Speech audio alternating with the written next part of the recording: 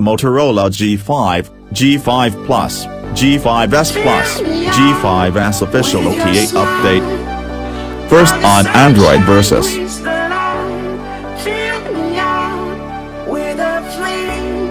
Motorola is suffering hate comments this year, while they're late for giving Oreo update, but better late than never. Here's official news for Motorola phones, G5S Plus, G5 Plus, G5.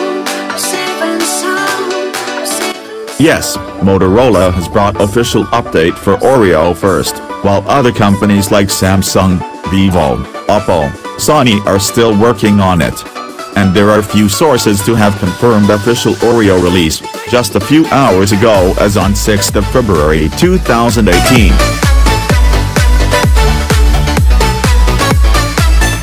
Android 8.0 Oreo update is now officially rolling out, thanks to the few sources like Channel News, X.D.A.com and My Smart Price.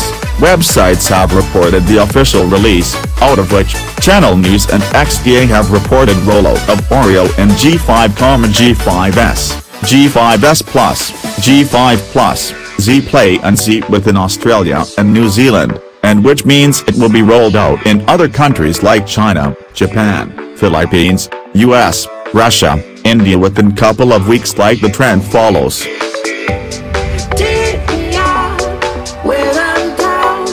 Do not forget to subscribe our channel Android Versus.